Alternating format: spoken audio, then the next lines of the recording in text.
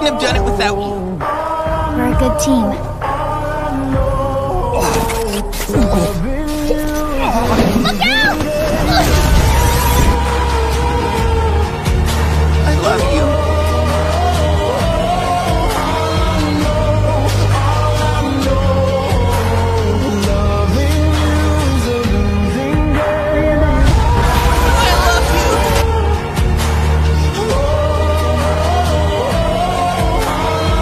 you.